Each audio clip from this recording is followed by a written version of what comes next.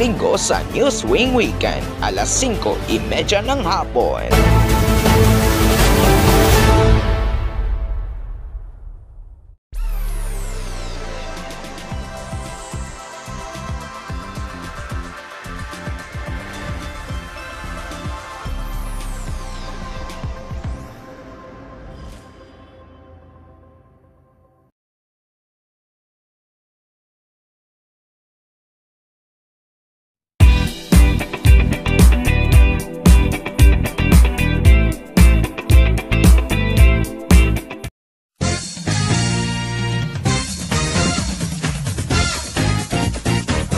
Pilipinas at buong mundo handa nang iabot ang swerte sa bawat pag-akyat sa Pera Pyramid.